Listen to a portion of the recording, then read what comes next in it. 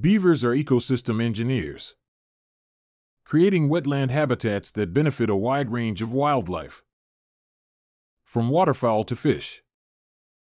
They're true architects of nature,